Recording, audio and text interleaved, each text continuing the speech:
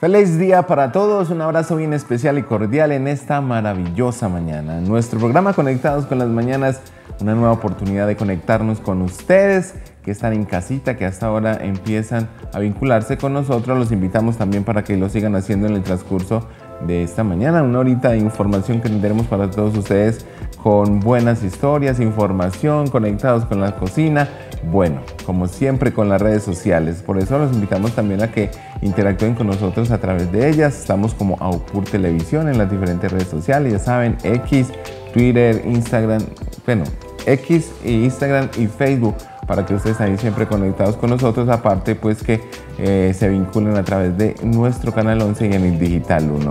Una mañana maravillosa este martes 11 junio ya, vamos llegando a la mitad de este mes la transición del año 2024, los chicos en vacaciones disfrutando del descanso y bueno, ahí está para que empiecen a ayudarle a las mamitas y a los papitos en sus trabajos y en los quehaceres de la casa aprovechando que están en vacaciones. Y por supuesto pues a disfrutar en el momento en que se pueda eh, hacer. También invitarlos para que ahorita nos esperen, tendremos un gran invitado, él es Alex que estará con nosotros en esta mañana para hablarnos de tantas de esas cosas que tiene él como iniciativa, proyectos que tiene en Urrao y que muchos de ellos van guiados a fortalecer, por ejemplo, el deporte como el caso del trail run. Eh, también tendremos las noticias habituales del mundo, de Colombia y por supuesto locales con muy buena información para que ustedes estén ahí muy pendientes de todos nosotros.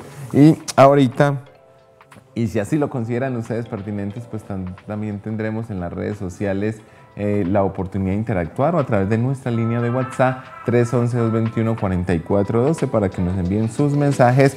Ya saben, hoy por ejemplo se celebra el Día del Juego.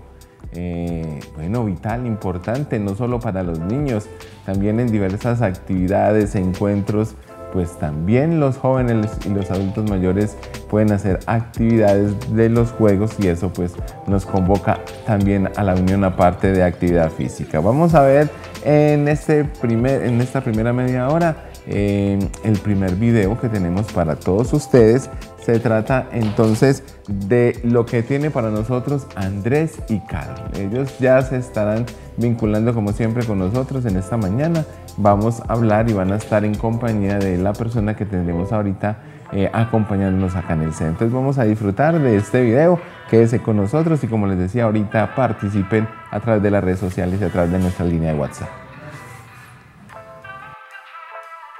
Hola amigos de Conectados con las Mañanas, en este momento me encuentro en Bicicletas Pinto Pino. Vamos a conocer este importante negocio del municipio de Urrao, Antioquia, ubicado aquí al frente de la Casa de la Cultura, donde puedes comprar bicicletas, traerlas al mantenimiento y tiene un montón de cosas, así que vamos a conocerlo.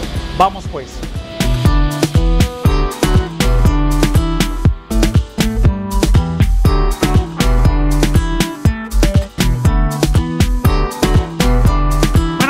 En este momento estoy en Bicicletas Pinto Pino, entré, estoy chismoseando a ver qué es lo que tienen. Tienen cosas muy buenas, bicicletas, cascos, entre otros. Pero que sea el mismo Alex Pino, que es el director ejecutivo de Bicicletas Pinto Pino, que nos cuente sobre su negocio. Hola chicos, ¿cómo están? Mi nombre es Alexander Pino. Eh, tenemos eh, bicicletas para niños de dos años hasta adultos.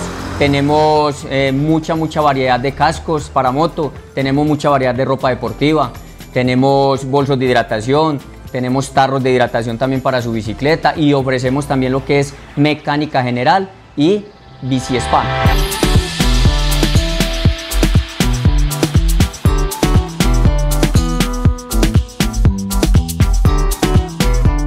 Tú traes tu bicicleta y te la damos totalmente nueva. Bueno, tenemos para los niños los pitillos, tenemos los cubrelevas, tenemos mucho, mucho tipo de freno, manubrios, tenemos calcomanías en variedad, mucha, mucha cosita para los niños y para los adultos tenemos también mucha variedad de cosas, cascos de bicicleta también. O sea, tenemos de todo para bicicletas, también cascos de moto, ropa deportiva. No, pues, ¿qué más, qué más puede? ah? Pues no, tenemos mucha, mucha variedad para que nos visiten, para tener el gusto de atenderlos aquí en Bicicletas Pinto Pino. ¿Dónde estamos ubicados? Estamos ubicados al frente de la Casa de la Cultura, eh, carrera 31, número 2415. Y llegue, llegue que aquí los atendemos con el mayor de los gustos. Ahí en toda la Capitán Franco, ¿cierto? En toda la avenida Capitán Franco, lo que llamamos la carrera 31. Listo, esto es todo acá en Conectados con las Mañanas. En este caso, Andrés Serna. Chao, chao.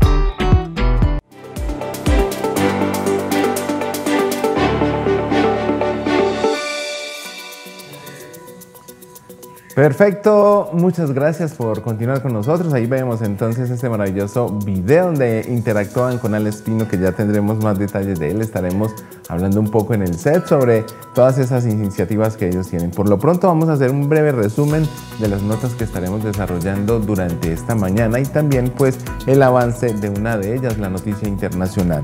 Se trata de la Corte Internacional de Justicia ordena a Israel detener inmediatamente su ofensiva militar en Rafah, en el sur de Gaza. También tendremos noticias sobre un cierre que habrá en la vía entre Urrao, el Tamira y la zona urbana de Betulia. Esto por algunas obras que estará desarrollando la Secretaría de Infraestructura Física del departamento.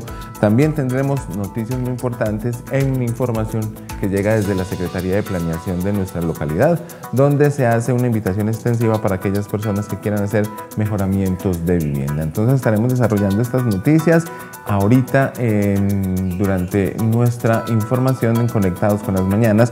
Por lo pronto vamos a, a, pasar con nuestro primer invitado para que podamos conocer y hablar un poco de él. Ya lo teníamos ahí, entonces vamos a hablar con Alex en un momento.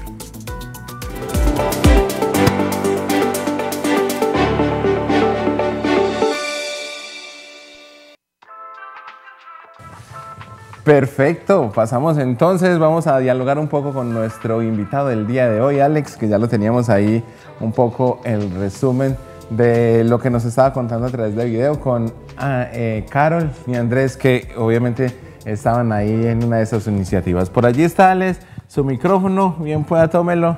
Miramos a ver si está encendido ahí, sí. ¿Está bien? Hola, hola. Ah, perfecto.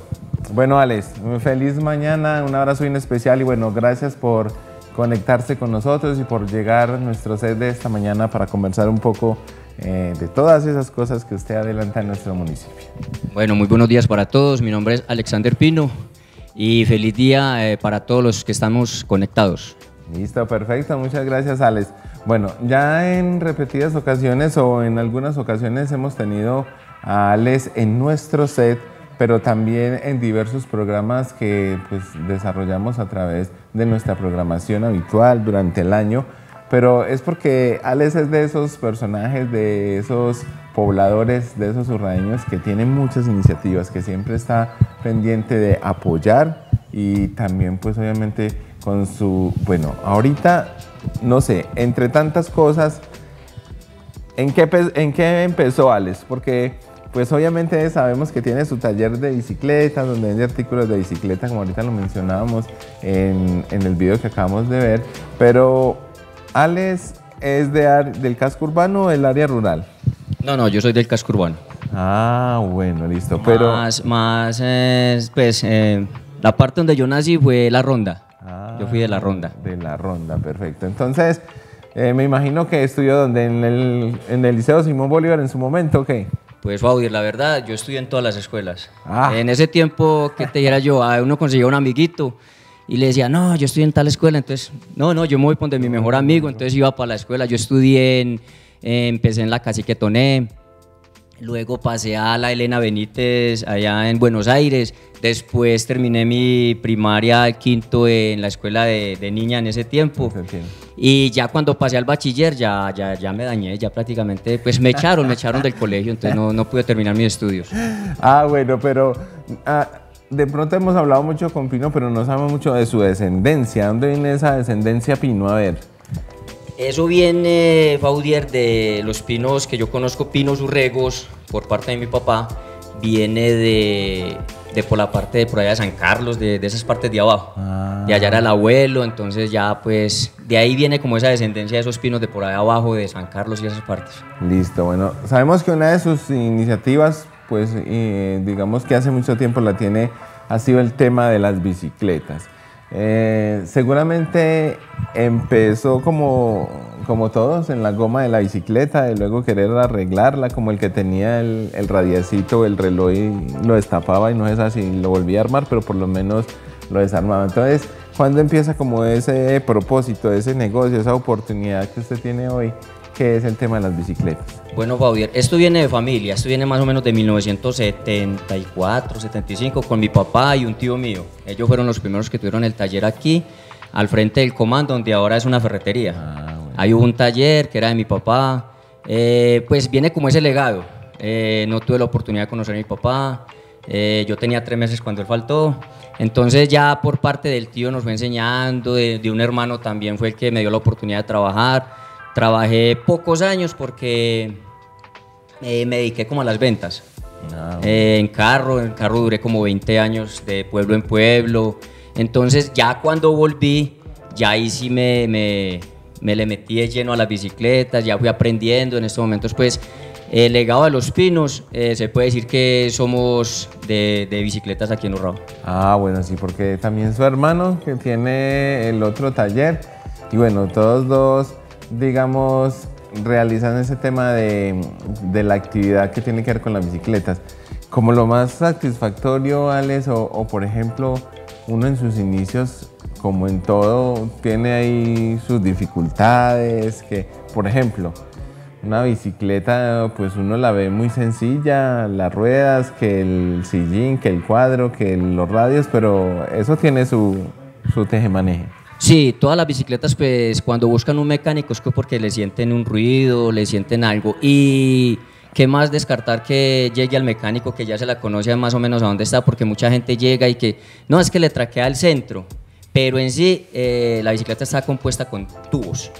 El eco del tubo lo lleva a otro sonido, o sea, a otra parte. Entonces el, la persona le dice, no, es que es aquí. Y uno le dice, no, no, ahí no es, el daño está en tal parte. Entonces uno ya asesora al el cliente y para eso pues buscan los mecánicos como para salir de dudas. Bueno, hay muchas curiosidades, pero yo tengo una en particular. Las bicicletas de hierro en su momento, mm, sencillas, con sus frenos en, de herradura, eh, pues todo muy normal. Eh, era más fácil, me imagino, en ese momento, o, o más difícil por el hecho de que a veces cuando las cosas son tan simples, a veces requieren incluso más laboriosidad.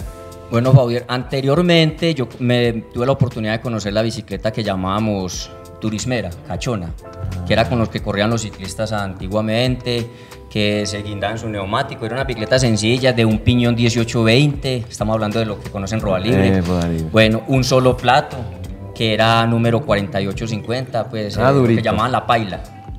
Eh, pero fue, esa, la bicicleta fue, fue pues como, como en sus, ¿cómo se dice? Eh, evolucionando. Evolucionando, fue evolucionando. En estos momentos tenemos bicicletas de 13 velocidades, eh, eléctricas, tenemos bicicletas ya demasiado costosas. Pero anteriormente la bicicleta era de un eje, una cuña, eh, tornillo, no existía, sí existía la aguja, pero muy sencilla. En este momento ya pues la aguja es lo más, lo más sencillo que hay y lo más fácil para mantenimiento. Y en estos momentos ya el mantenimiento de una bicicleta ya es demasiado complicado porque ya tiene muchas, demasiadas cosas para uno estar destapando, armando, todo eso, que la suspensión, que suspensión de aire, que líquido de frenos, que los pistones, todo eso. O sea, ya la bicicleta ha evolucionado demasiado. No, eh, en estos días charlábamos con alguien, decíamos, primero para bajarle o subirle a la silla, al galápago, pues como normalmente conocíamos, mero trabajo, ¿cierto? Porque una llave, porque hágale, afloje y la tuerca, después ya llegó una pequeña llavecita, ¿cierto? Entonces, digamos que primero la gente me imagino también carga casi que todos el parchecito, el neumático, el asunto. Sí, no, no, pues eh, sigue siendo lo mismo. Lo que pasa es que antiguamente usaban una llave, yo no sé si usted la conoció, yo la conocí y la utilicé, que la llamaban la calavera, ah. que era una llavecita grande que tenía varias huequitos. entonces eso lo metían en, lo apretaban con el tornillo y ahí cargaban todo el kit de herramienta. Era una llave calavera que llamaban. Ya ahora en día ya cargan sus llaves de eh, sus llaves hexágonas, sus, destornilladores pequeños. Mejor dicho, en un bolsito cargan todo el kit de parche, de, de herramienta. De herramienta, listo. Ahorita yo sí quiero que cuando vamos a tratar un poquito de ese tema, eh, mientras vamos apreciando incluso parte de las imágenes del taller de Alex, eh, que está ubicado en la calle, en la carrera 31, ahí muy cerca de la Casa de la Cultura, si yo soy gomoso, Alex, o, bueno, muchas personas, incluso hoy en día creo que es el medio de transporte de muchos campesinos, de, muchos, de muchas personas que van al trabajo, eh, como lo esencial que una persona debería llevar cuando se va a montar en cicla o cuando va, por el contrario, por ejemplo, lo que llamamos a jornalear, que entonces se lleva su bicicleta y hay dañitos que uno puede superar fácil. Bueno, em, por ejemplo, en cuestión del campesino siempre, siempre, siempre no le gusta cargar el parche, el inflador, la pega, que la lija. Por lo general siempre llegan, ah, me pinché y me tocó venirme a pie o, en una camioneta. Es muy, muy esencial eh, el kit de parches. Y ya, por ejemplo, los que salen a montar bicicleta, como decir los recreativos, eh, bicicletas ya más costosas, lo más esencial es el kit de parche y la calibración de la bicicleta, los cambios para que no le brinque. Ah. Eso es muy importante para ellos. Bueno, ya uno, la, la bicicletica, pues la que tenemos la mayoría, la de combate, ¿cierto? El cablecito del freno, de, pues normalmente es freno trasero, freno delantero, porque todavía hay muchas, ¿sí o no? Con su herradura, con su, el borradorcito, pues que llamamos, realmente, ¿cómo se llama eso? El, el que frena.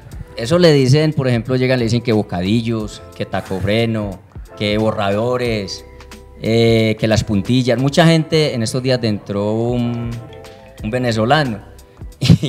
Y, a mí me dijo, pues, no, no, no conoce los idiomas, y que hágame el y me vende una concha. ¿Ah? Y yo le dije, no, es que yo no vendo naranjas. No vende helados tampoco. Y yo, una concha, ¿qué es eso? Y me dijo, no, una cáscara, una, una llanta. Y yo, ah, ya, ya, vi una concha, una concha. que una tripa. Ah. Entonces uno lo dejan, mejor dicho, esos idiomas para uno es... bueno, ya tienen que mostrarle. Bueno, entonces, ¿en qué momento usted empieza con, con su proyecto ya establecido? Donde ya, es, digamos, me imagino que como mecánico inicialmente, y ya después le fue metiendo ahí al asuntico, que la llantica, que el frenito, que una cosa y la otra. Eh, Faudier, esto fue, me acuerdo muy bien que fue gracias a un cuñado un hermano de la esposa. Una vez llegó aquí a conocer a en una Semana Santa y él vino y nos sentamos, yo traje en ese momento en la compraventa Penderisco. Eh, nos sentamos ahí a hablar, tan, y me dijo, eh, Alex, ¿vos cuántos años vas a cumplir? Y yo, pues yo voy a cumplir 38. Y me dijo, ¿usted sabía que cuando usted cumple 40 no sirve para nada? Usted tiene que independizarse. Y yo le dije, no, pero ¿cómo hace uno? Uno con un empleo, sostener la familia, de un sueldo, no le alcanzaba para nada.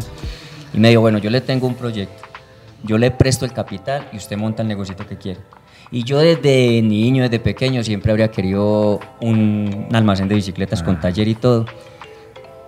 Se presentó la oportunidad pues de brindarme como esa, como ese, ese sí, ese, esa oportunidad. Y empezamos, nos fuimos para Medellín y yo decía, Ay, Dios mío, ¿yo cuándo voy a pagar todo esto? Porque montar un negocio no es fácil. Mm, o sea, hay que a ciegas, como se dice. Y mientras lo acredita a los clientes. y aguantar muchas necesidades, porque es que hay mucha gente que monta un negocito y, yo los que me estén escuchando lo tengan muy presente, que, que un negocio no, no quiere decir que porque me fue bien voy a gastar, no.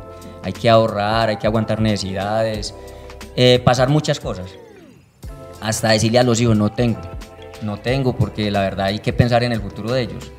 Y así empezó todo, ya, ya fuimos montando un negocito pequeño, fue creciendo, metiéndole moral, eh, la gente apoyándolo a uno, colaborándole y en este momento ya tenemos un almacencito, gracias a Dios, ya acreditado y surtidito. Mm, muy bien surtido, o sea, ya se como decíamos ahorita con eh, Andrés, lo que se le antoje, hasta los uniformes, el casco. Hablando de eso es vital. Ahí vemos las imágenes porque hay oportunidad para todos. Ahí vean las bicicletas todoterreno, para los chiquitos, para los niños. Ah, Puxbay, vea, también. Eh, bueno, ese tema también aprovechemos. Eh, pues eso no se veía antes. Esa bicicleta realmente no. ¿Esa qué es? Un... Es un chaleco de hidratación para correr, caminar y trotar. Ese está muy genial. Ah, bueno, ya sé si es. Ahí vemos entonces ahí organizando los cambios esenciales. Ya los frenodiscos, porque me, eh, ya que ocurre y pasa esa imagen, esa transición, me imagino que entonces hay que ser muy estudiosos, porque pues está enseñado a organizar la herradurita, ábrala, ciérrela para que no toque el rim, para que frene lo que es, pero ya por ejemplo llega el frenodisco y entonces, uy, ¿Cómo le hacemos? Sí, yo me acuerdo, eso fue más o menos en, los, eh, en las épocas del 98, el 2000, fue que empezó a venir la bicicleta todoterreno. Conocíamos la bicicleta de cambios, pero era la, la que llamábamos cachona turismera. Ya empezó a venir la bicicleta todoterreno con siete velocidades, que el que tuviera una bicicleta de esas, pues el papá tenía mucha plata. Porque me acuerdo que en ese tiempo una bicicleta de esas valía como, como 180 mil. Y no, y el que tuviera eso en esa época, pues tenía plata. Yo conocí esa bicicleta, monté y me enamoré de la de todoterreno, que servía para todos los terrenos. Entonces, eso fue evolucionando, Baudier. De la herradura pasamos a, los palillos, pues lo que llamamos los frenos de palillo. Ya después vino evolucionando ya el freno disco de guaya, que es el cable, y ya viene lo que es el, hidráulico, el que lleva líquido, el freno de líquido. Tal cual una moto. Correcto, lo mismo, una moto, el líquido impulsa pues un, un gatillo, un teterito que llamamos aquí arriba en, el, en la trepadora y e impulsa el aceite y dispara los gatillitos, los, los pistones, que son los que cierran la, las pastas de los frenos y ahí es donde acciona. Bueno, ¿usted cómo ha hecho para ponerse entonces a, la par de todas estas tecnologías? Porque son tecnologías. Bueno, hay mucha, en la empresa, por ejemplo, donde nosotros eh, trabajamos, que es GW Chimano, ellos le brindan a uno estudios. Ah, bueno. Eh, usted pasa el estudio y le dan un diploma, o sea, ya usted es técnico en eso, en desbaratar suspensiones y todo eso. Eh, eso, eso prácticamente ya uno va, le va dando como el, el, estudio y ahí está YouTube. YouTube le, le sapea todo, como se dice. Usted se mete a YouTube y ahí le dice, ah, esto sí, así, así, así, ya esto está muy, muy evolucionado. Entonces ya uno prácticamente estudia en YouTube y listo. Ah, Tiene todo. Yo también me parecía, cuando veían así en el rodamiento, cuando estaban armando el ring con los radios, que empezaban a girarlo, yo decía, pero bueno, uno pone el radio, aprieta el tornillo y sale. Y yo ya, gire, gire, gire. Yo, pero, pero, pues hasta que alguna vez con el difunto total le dije, bueno, ¿y eso para qué? ¿Usted nos va a contar eso para qué? Bueno, eh, eso consiste en, Hay varios tipos de rines. Hay rines que traen 28 huecos, otros traen 32 y el normal que es 36. Eh, entonces, eso, la manzana también trae 36 huequitos. Ya usted empieza a ensamblar, ahí está, el que, el que sepa el que sepa armar y coalar un ring, coalar es enderezarlo, pues dejarlo derechito. El que sepa eso prácticamente sabe un 70% de armar una bicicleta. Ah. Porque es que mucha gente dice, eh, no, yo sé mucho. Bueno, usted sabe mucho, entonces ármeme ese par de rines. Ah, eso es lo único que me falta. Entonces prácticamente le falta un 70% a aprender a armar la bicicleta. Ah. Porque es que usted armar la bicicleta, ponerlo a girar y empezar a coalar, a darle la forma, porque no es, todos no son los mismos. Por ejemplo, en los frenodiscos hay una cosa que se llama sacarle bomba para ah. que la pacha pueda dar y el freno disco pueda dar y quede centrado en toda la mitad del marco. Entonces eso es una, ¿cómo le era yo? Es un arte. Armar rines es un arte. E incluso una vez un amigo en Medellín me dice, eh, Pino, necesito quien me arme, voy a darle un almacén necesito quien me arme unos rines. Y yo le dije, ah, no, listo, yo me voy. Yo recuerdo que yo me fui 15 días y le armé, fueron 500 bicicletas, armé mil rines. Ah. en una semana. Eso es mucho camino. No, eso es mucho. Yo tenía que trasnochar, llevarme mi tinto, todo eso, porque la verdad había que armar ring número 16, que es la para niños entre los 3 y 6 años. Armar número 20, que es lo que llamamos la cross. Número 24, número 26, 27, 5 y 29. Había que armar mucho tipo de ring y todos no eran lo mismo. Entonces, Eso era una rumia, una pieza de rines impresionante, ir a armar 500 bicicletas para poder abrir el almacén en temporada. Entonces, eso, mejor dicho, el que tenga ese arte, aprovechelo. En Medellín necesitan demasiada gente en temporada para, para armar bicicletas, nuevos almacenes y ahí está. Mucha gente el arte está ahí, hay que buscarlo. Bueno, no sé si usted tenga el dato, porque se me viene aquí a la cabeza. ¿Cuántas partes puede tener una bicicleta más o menos? Paudir, dependiendo la bicicleta. Dependiendo porque hay bicicletas que, como le digo, la de 13 velocidades es complicado. Eh, eso es milimétrico, los cambios son milimétricos. Cualquier tornillito que se le mueva, el cambio empieza a brincar. La bicicleta todoterreno, eh, bueno, hablemos así como decir una todoterreno. Una todoterreno puede estar compuesta entre 70 80 piezas, con balines y todo. Porque estamos hablando de que no, que es que yo necesito los balines. ¿Cuánto necesita? Entonces hay que contar de uno a los que necesite. Y lleva balines en el centro y en las llantas, en las manzanas. De ya, eso, correcto. Hay, por ejemplo, hay rodillos o hay balines. Ah. Entonces necesita eh, la balinera completa del centro, la balinera completa del rin trasero, la balinera completa del rin delantero, eh, las canastillas de la dirección. Ah, Todo lo que lleve gira, giro ya necesita rodillo o balín. Eh, genial. Bueno, yo voy a pausar un momentico aquí las preguntas con Alex, porque quiero trasladarme allí a otro escenario, porque quiero mostrarles a ustedes las notas que tenemos esta semana que tienen que ver con las redes sociales, ¿cierto?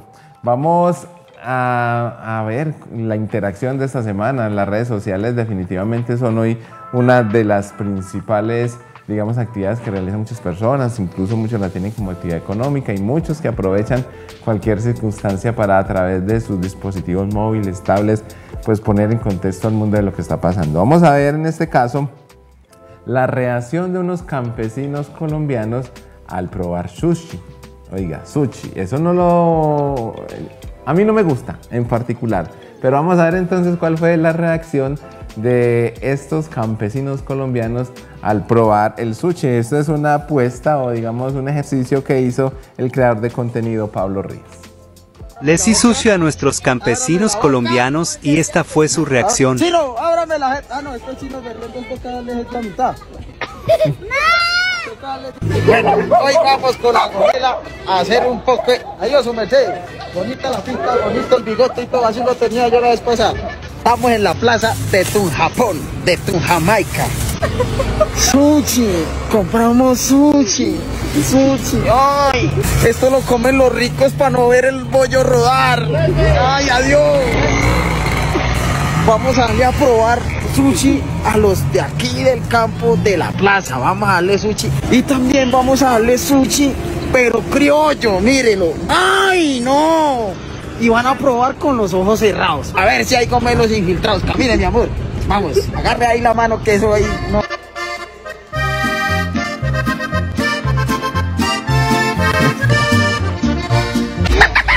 no se ve recaspa, véalo. Sonríe allá, hola.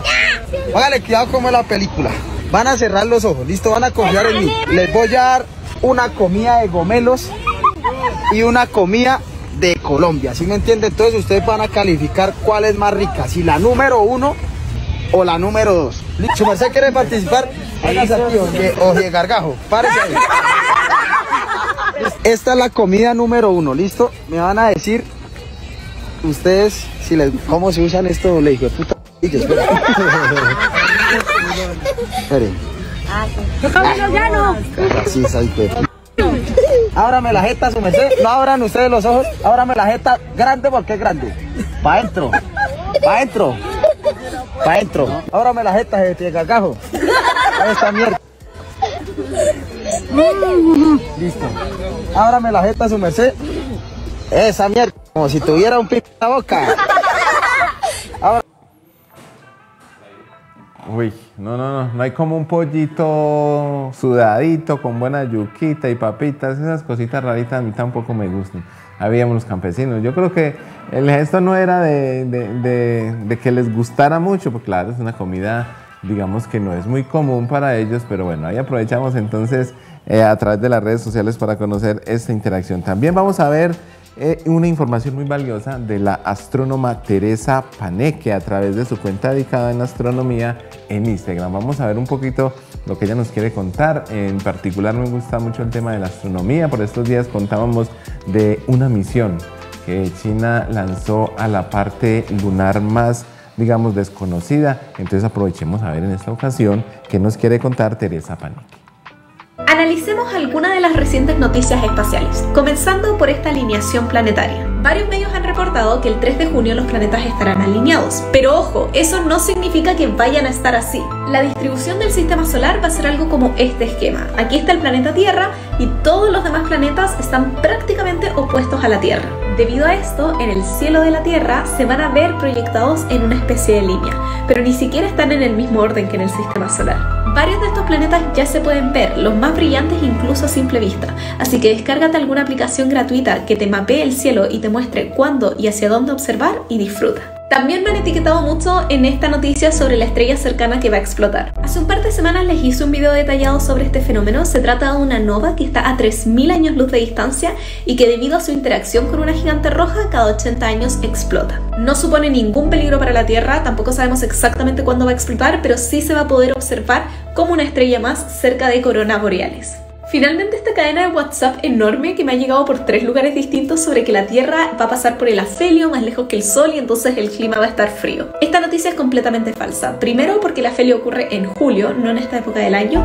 Y segundo porque si bien hay una diferencia de algunos millones de kilómetros, no es suficiente como para afectar significativamente la temperatura de la Tierra, que es principalmente determinada por nuestros procesos atmosféricos. De hecho, a nivel global en julio las temperaturas son más altas. Bueno, gracias a Teresa por estos buenos datos y hablaba de una nova o supernova que incluso hay estrellas de estas que son más grandes que el mismo Sol, que es el principal astro de nuestro sistema solar. Pero hoy veíamos entonces, digamos, un poco de compilación de esta información muy valiosa que nos dejan también a través de las redes. Y ahora vamos a ver algunas imágenes que nos dejan eh, los gestos de algunos tiernos gatos. Hemos hablado en estos días también que tenemos un espacio del tema del cuidado de las mascotas. Vamos a ver en este caso a través de las redes sociales los gestos de los gatos, bien juguetones que son por cierto.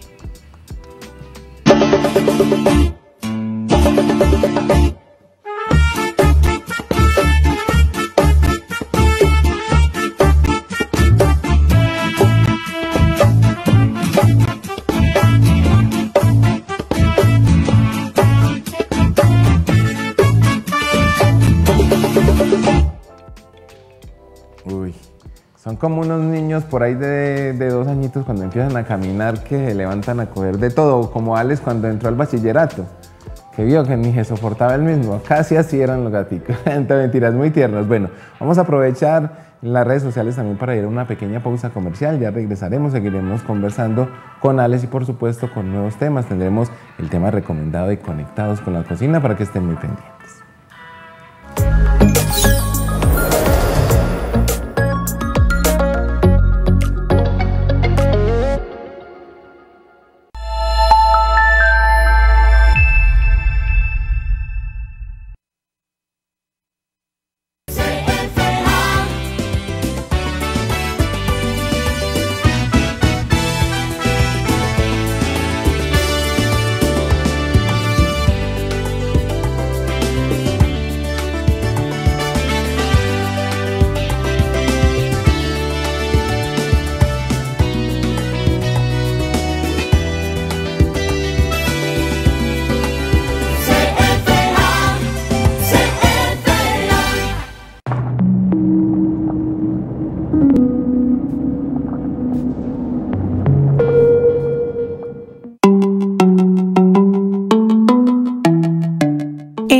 Más de 15.300 hectáreas que hacen parte del complejo de páramos Frontino, Urrao, Páramo del Sol, Las Alegrías, se encuentran una gran cantidad de especies de flora, características de estos ecosistemas.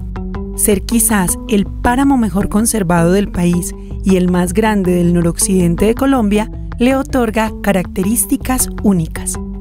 El complejo alberga aproximadamente el 14% de la diversidad florística de los páramos del país, destacando que es allí donde se encuentran los únicos bosques de Polylepis sericea en Antioquia, los cuales constituyen el límite noroccidental de distribución geográfica de esta especie en Sudamérica.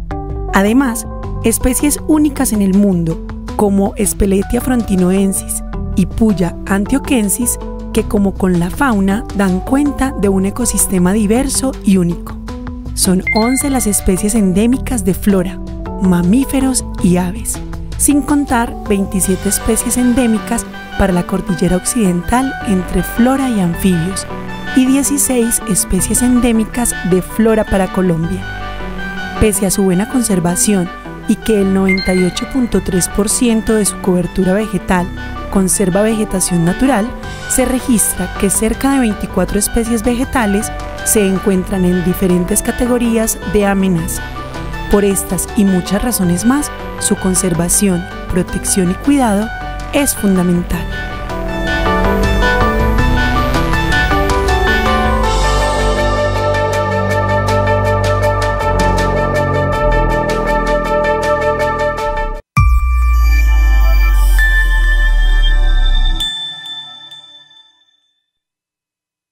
Tejiendo sueños de corazón. Este año cumple todos tus sueños con CFA Cooperativa Financiera, con nuestras líneas de crédito especiales para ti. Créditos de consumo, créditos productivos, microcréditos, créditos economía verde y otras líneas ajustadas a tus necesidades. Estamos contigo de corazón. Visita nuestras oficinas o comunícate al 604-232-0011.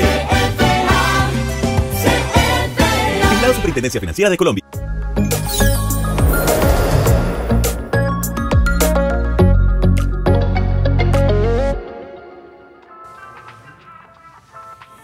Muy bien, regresamos después de esta pausa comercial. Seguiremos conversando con Alex, más detalles y por supuesto pues también tendremos ahorita el tema de conectados con la cocina y algunas de las noticias que en breve les haríamos entonces al inicio de nuestro programa. Alex, antes de empezar a hablar un poco de ese proyecto magnífico que ya eh, al que ya se vinculan muchas personas, el que muchos le apostaron, ya están creyendo y que hoy estamos jalonando eh, grandes, digamos, deportistas del nivel nacional e internacional. Ahorita usted me decía, perfecto, tiene establecido su, proyecto de vida, eh, digamos, su negocio en el casco urbano, nació en el casco urbano, pero vive en zona rural. O, lo que tiene allá es como el descansadero y la forma de irse allá a, relajarse. ¿Cómo es el asunto? Hablemos de esa, de, la hacienda Napoli, a ver. Bueno, Baudier, no, eh, pues tengo mi casita, gracias a Dios, aquí en el casco urbano, tengo el negocito, pero eso allá lo hice más bien como para descanso. Eso fue un proyecto que hice, eh, empecé a comprar como unos, como se dice, troncos de pino, los enterré y la gente me decía, usted es que está reviviendo la época de Jesús, con Jesús y sus dos ladrones, porque eran unos palos aparados, eso parecía que fuera a crucificar a alguien. Pero no, eso fui, fui como dándole forma, como, como irle trabajando, ir comprando cositas con despacio, y en ese momento se llama la Mini Nápoles, una cabañita. Ah, bueno, me parece muy genial. John, no he tenido la oportunidad de ir, algún día tendremos que hacerlo. Bueno, ahorita sí, entrando en materia, hablamos de ese tema de Trail running, yo creo que serán cosas desconocidas para nosotros. Hablamos de atletismo, ¿cierto? Y paré de contar. La carrera del atletismo, fondo, semifondo, velocidad, pero trail running, ¿cierto? Digamos, viene ya ese nombre, pues obviamente una regla ya más americana, más del todo, pero entonces, ¿cómo empezamos con ese tema de la caminada y trotar por nuestras montañas? Bueno, eso fue pues yo viendo a nuestro maestro en Gaviria, eh, yo lo seguía mucho, el berraco pues muy, muy, muy atleta. En estos días tuvimos una reunión en, el Peñor con líderes de, trail, líderes de hacer carreras, de los que hacemos carreras, y conocí a Oscar Naranjo, conocí a, al Marinillo, que fueron campeones panamericanos y todo eso. Y yo decía, eh, pero estos muchachos, hombre, porque ellos hablaban de no, como una ficha a vencer. Era muy, muy, era en ese, en ese tiempo era el mejor de Colombia, porque no pues tuvo su, su operación, su rodilla le falló y, y él tuvo cuatro o cinco años que era, era el número uno en Colombia, no, no, era una persona que no, era una máquina, una, eso como que no le dolía, porque no nos decía. eh, para, las, para todo deporte hay que vencer el, el- el dolor, El y el dolor. miedo. Oiga, bueno, entonces nace a partir de ahí, entonces usted, listo, dicen, eh, tenemos un referente del deporte, del atletismo de montaña, llamémoslo así, pues para que nos entendamos, así como en el clase del ciclismo tenemos el MTB que es el ciclismo de montaña, pues también entonces eh, eh, esta vez el atletismo, pero ya hacerlo en montaña, en carretera, correr, no propiamente como una maratón, pues que normalmente se hace en una vía pavimentada o, o algo así. Entonces, ¿cómo empieza esa iniciativa y usted a convocar gente en su momento para crear, digamos, ya esa primera ruta para, para empezar a convocar personas que les gustara y que hicieran esa actividad acá en el municipio? Eh, Faudier, nosotros empezamos, pues yo empecé a, me encantaba pues la montaña, trotar, caminar. Eh, yo decía que el mejor premio para un montañista es la cima, porque los paisajes, todo eso, entonces empecé como a, a- a salir al PZ, a caminar, entonces la gente me fue diciendo, Pino, eh, qué rico salir, pero es que ustedes andan mucho, no, no, no, eso no, no quiere decir pues que, que nosotros nos vamos a dar candela por ser su primer día, no, si quiere vengan, ensayen, nosotros los, le damos pues eh, tic, tic de, de cómo trotar, cómo caminar, cómo hacer fuerza, cómo entrenar, mejor Y dicho. cómo hacerlo según el territorio. Correcto. Eh, hay gente que nos decía, no, es que yo, yo me canso muy fácil. Pues entonces empiece poquito. Es que esto no necesita, que es que yo, yo tengo que, mañana tengo que ser un élite. No, todo es un proceso. Eh, yo empecé a salir cuando una vez me encontré a Farfán. Ahora me decía, no, Pino, yo quiero hacer eso, pues que a mí me, me- los pulmones no me dan, yo me aficio con nada, tal cosa. Y yo le decía, no, empecemos, empecemos, y empecé a hacerle trabajo de, de respiración, todo eso. Pues gracias al trail running, que pues carrera por montaña, eh, ya Farfán no utiliza inhalador. Ya él respira bien, ya él se siente muy, muy fortalecido pues de sus pechos, su pulmón. Y él dice que gracias al trail, él, él ha mejorado mucho. Y usted como ve, pues Faudier, en estos momentos tenemos pelados élites Muy bueno. que pasó la carrera y todos nos ocupaban los primeros puestos. Y sorpresas también que Sorpresas tenemos. subieron, la niña que vino de, con el papá de abajo de... De- A mí se me olvida cómo es que entre calles Maravillo, por allá, eh, cruces. Cruces. Eh, trajo la niña y la niña también esa recibió como un plancito de entrenamiento y ganó, le ganó, pues llegó de tercera y le ganó, pues eh, le ganaron con unos muchachos grandes, así pues como uno, pero para nosotros fue, uy, ¿cómo? Ahora el papá que ganó los 42 kilómetros y llegó sobrado, le cogió más de media hora al segundo, que eso no lo hace Faudier. Es Tenaz. que 42 kilómetros de montaña, eso es duro. Eh, nosotros- estamos calculando que eso es, no sé cuántos kilómetros hay a Betulia, 38, 40, 42. O sea, 41, 42. es agarrar a Betulia, pero no por una vía chévere, sabrosa. Y es que gatear como de, vez en cuando. Sí, hay mucha gente que me pregunta, Pino, esa ruta es muy dura. Y yo, pues, la verdad, es tan dura que yo que estoy enseñado a marcarla, a hacerla, a caminarla, llego de cama. O sea, es, imagínese usted un corredor que la tiene que hacer a tope para poder ganar. Y este muchacho, pues, bajó los tiempos. De todas las carreras que hemos hecho, él la sacó en 4 horas 16. Enola tenía en 4 horas 28. Entonces son 12 minutos que usted en 12 minutos trotando puede hacer prácticamente 4 kilómetros. Y 4 kilómetros caminando, trotando, siempre es... Eh, Es un trayecto larguito, eso es ir allí al Puente del Paso, por ejemplo. Bueno, eh, creo que es Alfredo, que se llama Luis Alfredo. Alfredo, Alfredo. Perfecto, y su hija, bueno, un ah, para ellos un reconocimiento muy valioso también para todos los chicos, Cristian, todos los que vienen ahí en esta camada y ustedes que son, digamos, ese empuje para que ellos, digamos, todos los días quieran seguir ahí. Eh, yo creo que hay algo que ustedes también nos enseñaron ahí con ese tema de las carreras de montaña. Normalmente se ascendía al peseta o al indio. Esa era la ruta para todo el mundo, pues que también se hacía de peregrinación. Pero empezar a descubrir también otros paisajes, otros territorios, otros terrenos, eso también ha, ha sido muy significativo. Sí, nosotros cuando acercando la carrera, faltando cinco meses, empezamos a preparar rutas. Empezamos a buscar senderos, a, a medir. Eh, nosotros nos metíamos por un camino, luego por ese mismo camino cogíamos otro para que nos diera más kilometraje. Eh, en estos momentos pues tenemos la ruta de los 23 kilómetros que ya está catalogada, la ruta dicha por gente de Bogotá que corren a nivel nacional pues eh, trail, que en estos momentos Urrao, Reto Penderisco es la montaña más dura en estos momentos a nivel nacional. Ah, esa, O sea que- esa, háganos aquí una pequeña lectura así ahí geográfica del asunto, cómo es la... Bueno, esa, esa sale de aquí del parque, sube al Alto de la Florida, que también ustedes, yo no sé si conocen el Alto de la Florida, unos repechos muy bravos. Eh, luego llega una parte que se llama el desvío del oso, el sendero del oso con el bote. El bote. Ya empieza a bajar, llega al bote, que es el puente amarillo ahí en la Magdalena. De ahí da la vuelta y se monta por, por la corraleja. Y va a subir al alto de la Z, que eso es, es prácticamente una pared, o sea, siempre es durita. Luego sube al alto, se, se cruza, se cruza por ahí que un kilómetro y luego baja por todo un alambrado. Después de que baje por un alambrado llega a una parte que llama la finca de Faro, que es aquí el puentecito, aquí pasando el- la, La Casa Roja. sí. De ahí ya se desvía y sube al, al peseta. Entonces ya el peseta baja a todas las estaciones y pasa por el puente, entonces tiene tres picos. Uy, Tiene tres picos de un nivel del 2200. Entonces hay gente que dice es demasiado dura, es que es muy duro, o gente que llega llorando. no, pues... pero no lloraban porque, pucha, no por, por, pues porque eh, muy dura, sino que porque cumplieron el reto Por, cum- por cumplir. Y para el año que entra vamos a tener, eh, eh, yo diría que, que vamos a tener más, más gente porque vamos a cambiar la fecha.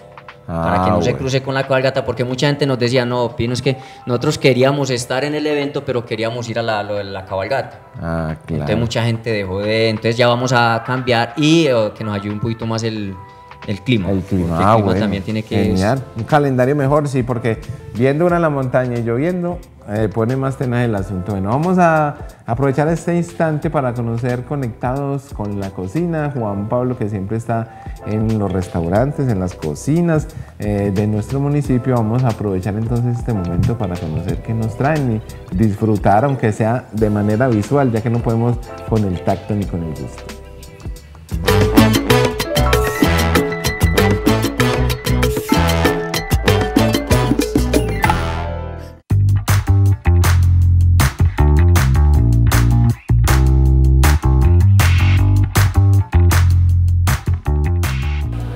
Hello, hello, ¿cómo están todos? Los invito a que sigamos en este recorrido por las cocinas del municipio. Un saludo allá también para Astrid y para Fabier en el sede y para todas esas personas que nos están viendo a través de las redes sociales y que se conectan aquí para que hagamos este ejercicio de recorrer las cocinas. Hoy nos vinimos para las empanadas de la San José.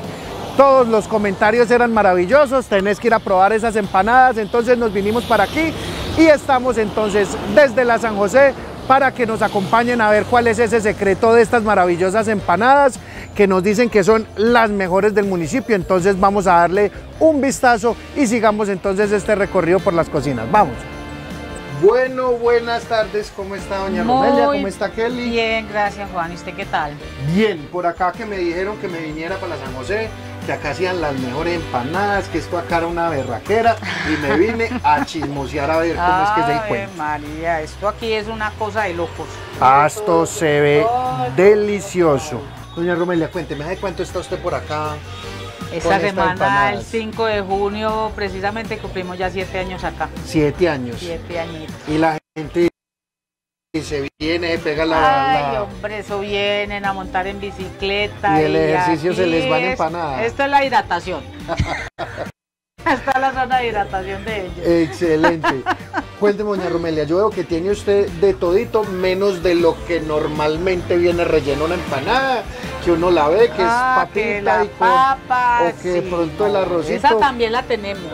Tenemos la de pollo con maicito, tenemos la carimañola, tenemos la de maduro que es con bocadillo y queso. Tenemos De maduro. de maduro con bocadillo y queso. Ay, María. Si quiere, vaya a gustar y Sí, le no, voy enseguidita, no, yo me tengo que ir a probármelas todas, pues aquí eso con todo lo que le quepa a la Con empanada. todo lo que le quepa.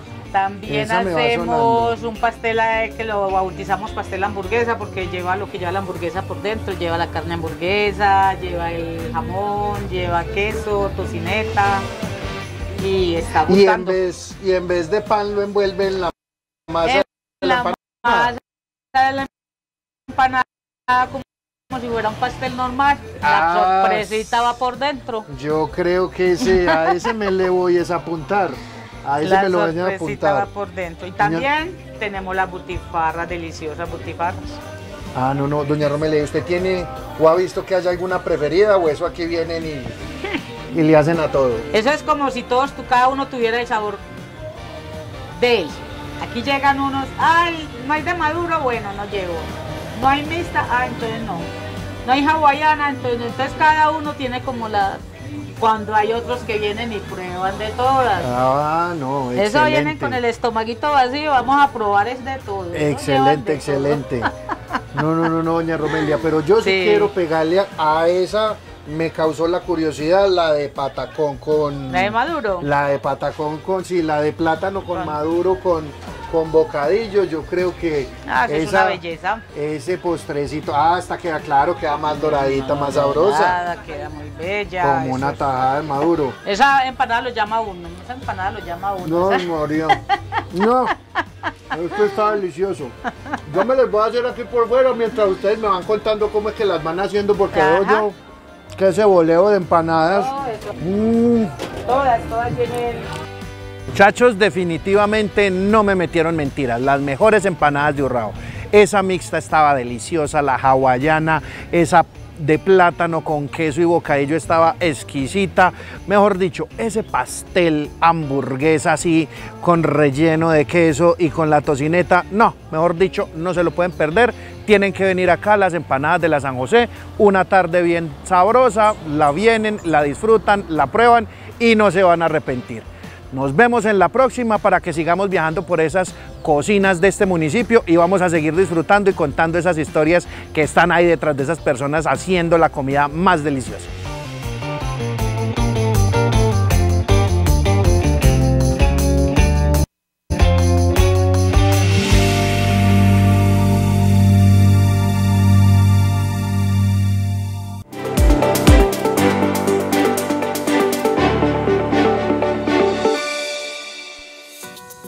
Bueno, se nos hace agua la boca y aquí ahorita nos tomamos un tintico, un cafecito así a palo seco tocará.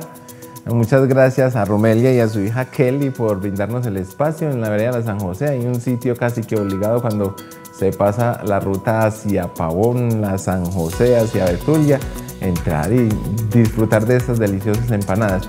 Lo que sí tienen por ahí bien picantico es el ají. Mm, yo un día me comí un pedacito y le cuento que un poquitico y mm, sufrí bastante, un poco de rato, estaba muy picante, pero eso para el que le gusta, delicioso. Bueno, vamos a adelantar entonces eh, algunas de las noticias que teníamos preparados para ustedes durante esta mañana.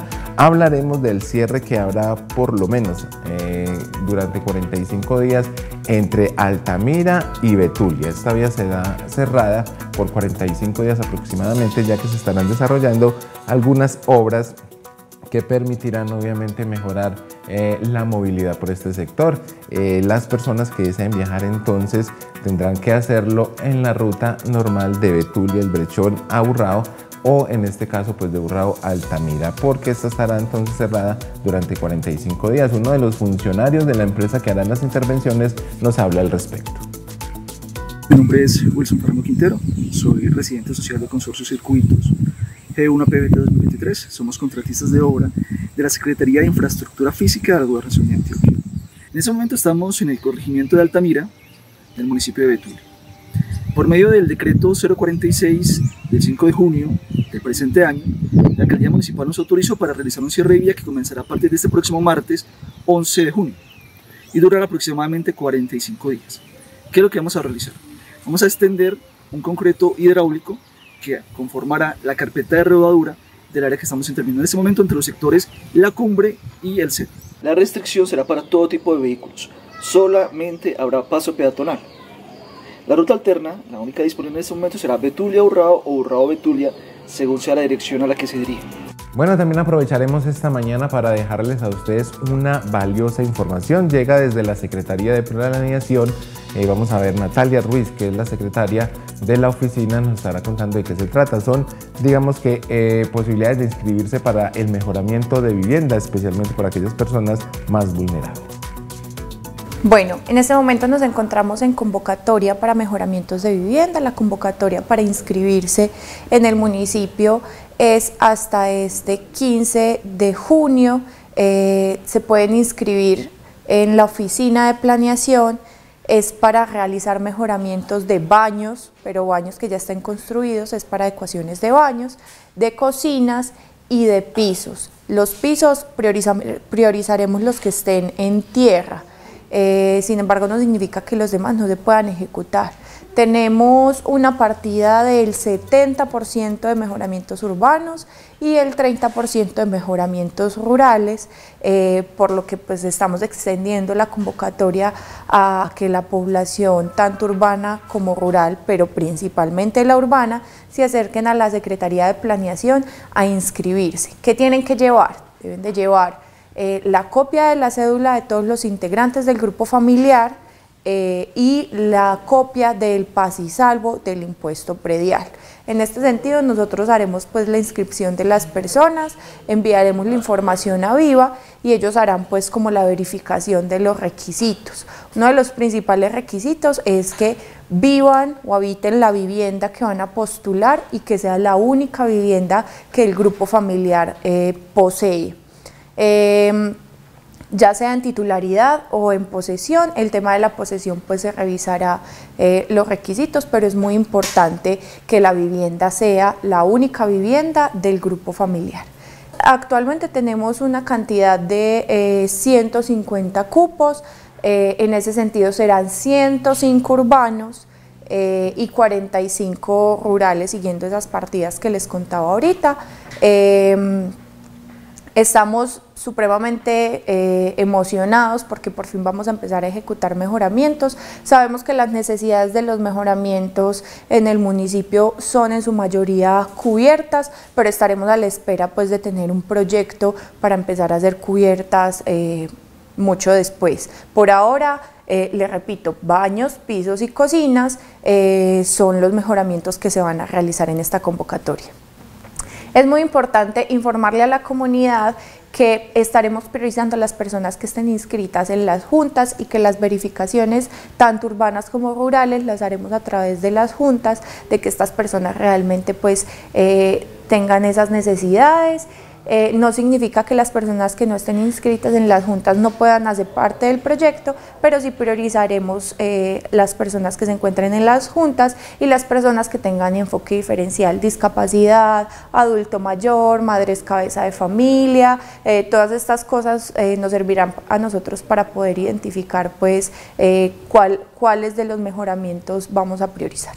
Les recuerdo que las inscripciones se realizarán en la oficina de planeación, queda en el segundo piso, en el horario de oficina de 7 de la mañana a 12 del día y de 1 y media de la tarde a 6 de la tarde estará pues como el equipo disponible. Eh, habrán días y, por ejemplo como hoy martes, eh, que la oficina eh, se encuentra pues como inhabilitada a partir de las 4 de la tarde para que lo tengan en cuenta y este sábado eh, solamente es hasta la 1. Recuerden que los miércoles no tenemos servicio, entonces siendo así las cosas, tenemos jueves y viernes en el horario que les conté y el sábado hasta la 1 de la tarde.